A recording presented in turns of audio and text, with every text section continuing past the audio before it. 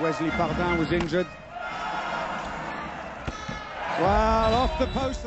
Long range shot again, held by Desbonnet. The break is on. Prandi.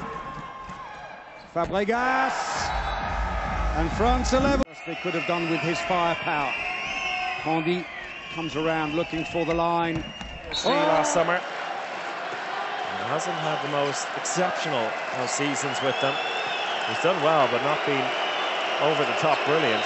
Not like he's producing in this championship so far. He gets a touch on that one, but he can't keep it out of here. And in terms of the score since half-time, nothing to choose between the sides. 3-3, as we were at the start of the half.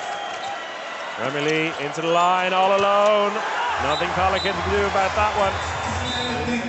Four goal game once more.